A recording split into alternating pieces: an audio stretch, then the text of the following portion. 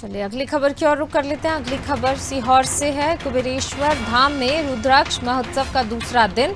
लाखों की संख्या में श्रद्धालु रुद्राक्ष के लिए लाइन में लगे हुए हैं। आयोजन के पहले दिन भी भारी अव्यवस्थाओं का आलम रहा। जिला प्रशासन की व्यवस्थाएँ भी नाकाफी साबित हुई। तो मध्य प्रदेश में कथावाचक पंडित प्रदीप मिश्रा के सीहोर स्थित कुबेरेश्वर धाम में आयोजित रुद्राक्ष महोत्सव का शुक्रवार को दूसरा दिन है।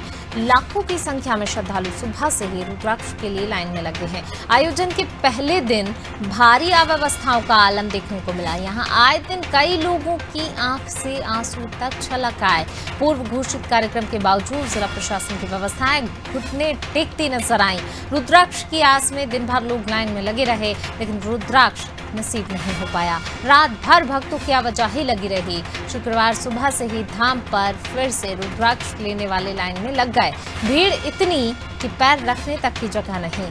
हालात ये हैं कि पाँच से छह लाख लोग आयोजन स्थल पर मौजूद हैं।